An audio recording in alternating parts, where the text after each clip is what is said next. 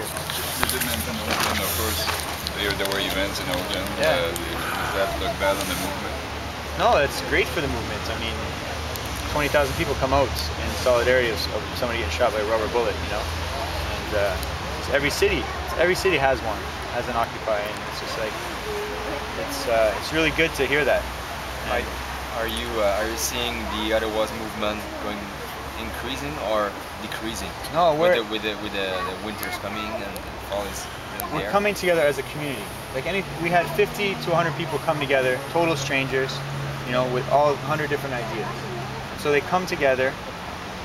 We have to live together out here with no power, you know, barely any like connection to the outside world. Like, I mean, internet and everything, I don't have it here.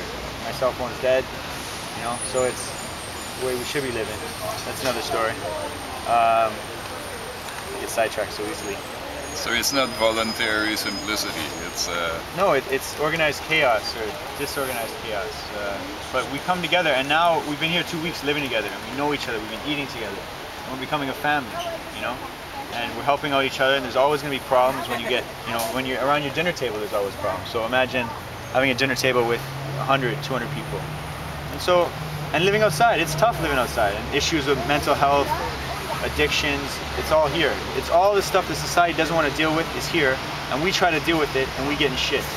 You know, so and that's what's happening in all around the world. Do you observe uh, any tension between neighbors? There's always tension between neighbors, but there's a lot of love here. You know, and, and we, we we get along.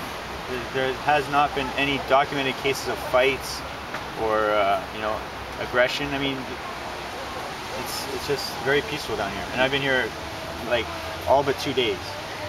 I think in Quebec the, the the trigger point was a fire actually. Was Fire, because people were probably Yeah. freezing their ass off sitting in the park. You know, I mean, but uh, you know, it's cold out here. You know, and we need fire, and so I'm sure, you know, they, that's a reason they come and shut it down. Oh, safety concerns and everything like that. But give us a proper fire pit, you know, uh, and we'll be all right. You know, let us live like humans are supposed to live instead of contained in these boxes. So so Winterlude is coming. Do you think that's that might be a deadline, sort of, so to speak, for you guys? here?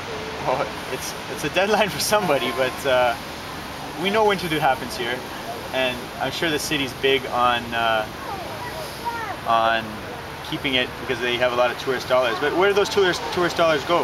Feeding the politicians, you know, feeding the system that's broken. So maybe we can ask the public not to come to Winterlude, or you know, um, come to Winterlude with us here, you know, and, and just enjoy the sense of community. Like, so you're gonna pay $200,000 for ice sculptures, feed the homeless people here, you know, give us some heat, give us some proper shelter.